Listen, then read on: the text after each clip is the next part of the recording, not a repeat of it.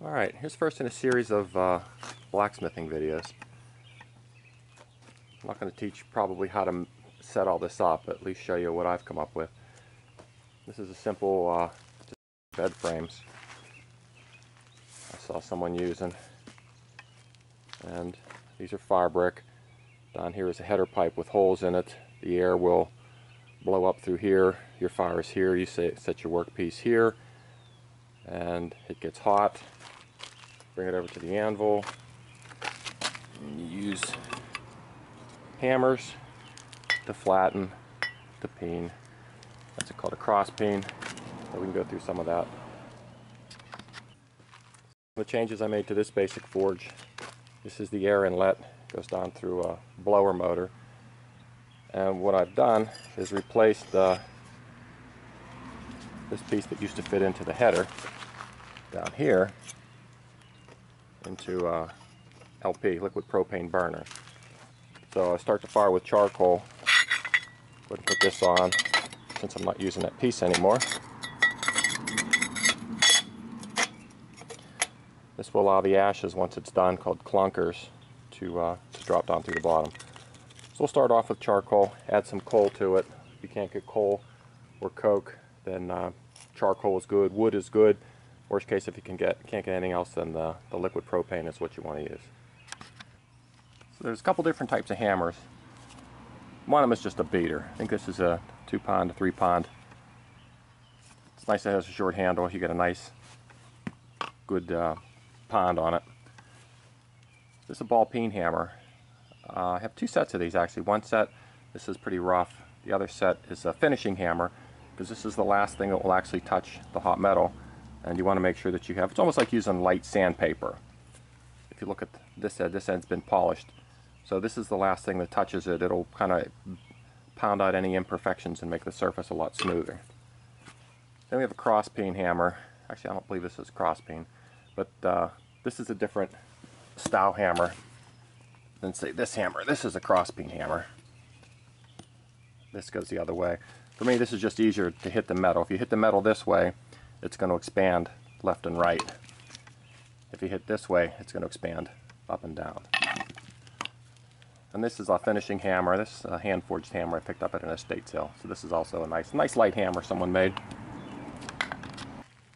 So some things to consider when doing blacksmithing. One, proper PPE, personal protection. Make sure you have gloves, safety glasses, uh, flame retardant. I always have an apron. You want to make sure you have a fire extinguisher, uh, make sure you have water around.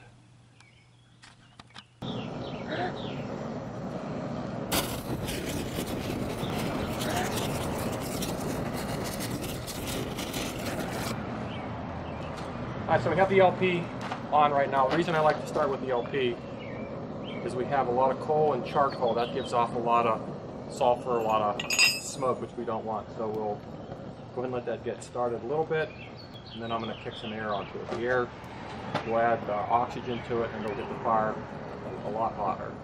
Alright, so next thing we're going to do is we're going to turn the blower on.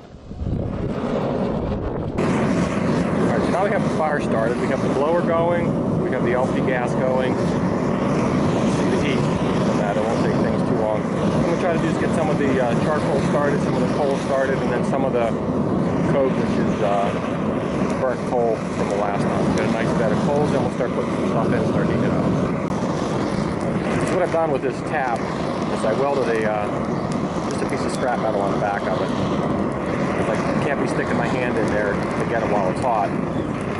This at least will give me a little better grip whenever it's heating and whenever it's uh, whenever I'm forging it. So we're going to go ahead and let the coals get nice and hot. What we want is uh, a nice bed of ashes, nice bed of hot coals that way it's going to transfer the heat to the metal faster. One of the nice things about having coal is it's pretty abundant where I live. Coke is abundant where I live, but unfortunately it's the wrong kind of coal. It's very sulfury. So in the area that I live, I also have to supplement it with the um, LP gas to keep the smoke down. So I'm not going to be able to film the whole.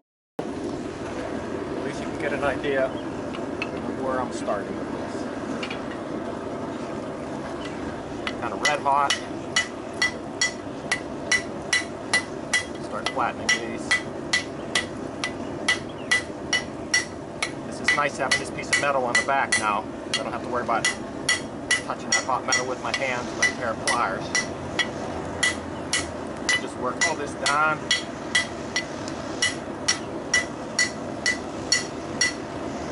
Put it back in the furnace.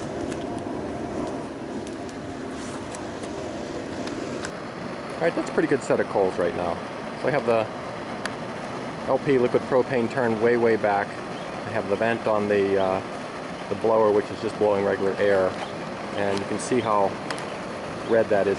So anything that's in there is going to have that heat transferred to it, which is going to make it a lot easier to um, be landed on. A lot easier to, um, to reshape the metal, to pound the metal than it would be if it's uh, not lit up.